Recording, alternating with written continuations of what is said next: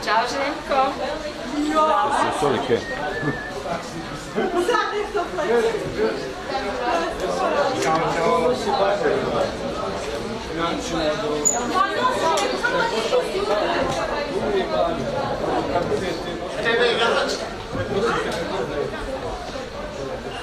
Deve abbracciare.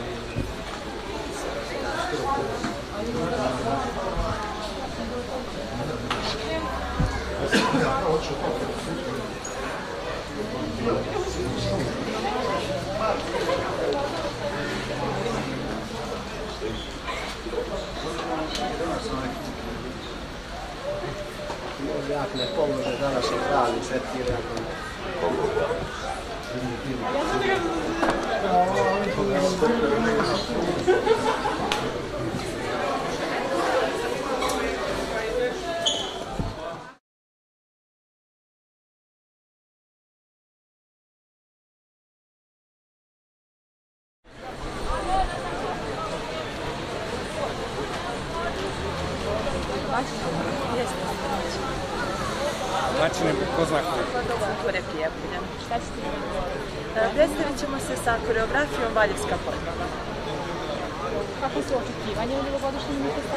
Pa nadamo se da će da bude posjećeno i nadamo se druženju, pre svega i upoznavanju.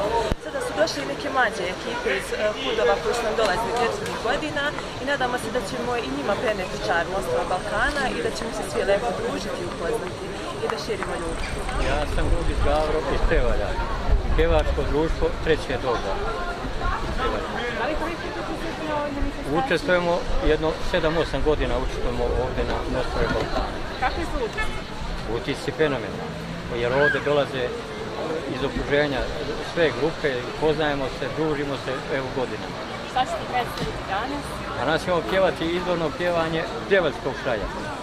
Znači pjevat ćemo pjesme o Pjevaljskom kraju, o ljubavi, o livadama, o šumama. Recimo sa Ljubišnje gledam dolje, u Pjevaljsko rano polje, tako nešto u tom. Je ova manifestacija širi ljubav? Kako da ne?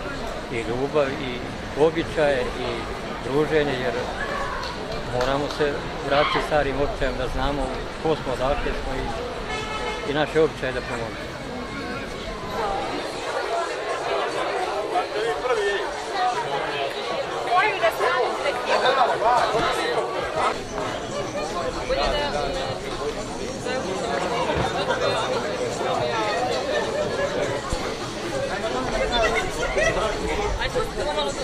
Da se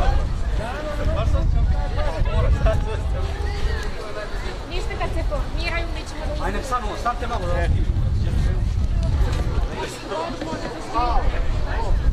Ajmo nešto, Đuđe vas zove. Ajde.